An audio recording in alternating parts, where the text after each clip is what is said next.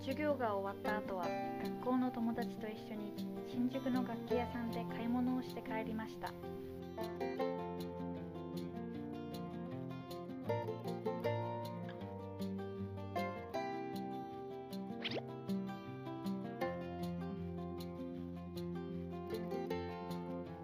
オンラインストアで買った荷物が届いていました。学校に行っている時も寮のスタッフの方が代わりに荷物を受け取ってくれるのでとても助かります。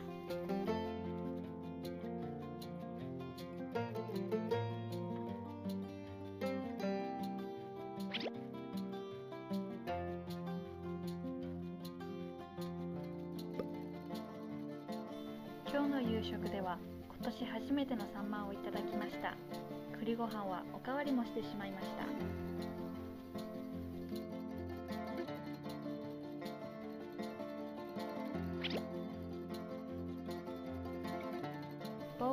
は歌やピアノの練習をするためにほぼ毎日利用しています